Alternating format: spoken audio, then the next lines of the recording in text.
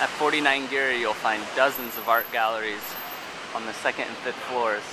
Come by on the first Thursday of the month when all of the galleries are open.